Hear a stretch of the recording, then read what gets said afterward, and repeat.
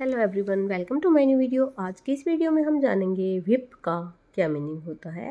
Whip means an instrument consisting usually of a handle and lash forming a flexible rod that is use for whipping or we can say this is a long thin piece of material such as leather or rope fasten to a stiff handle it is use for hitting people or animal that is whip means Koda.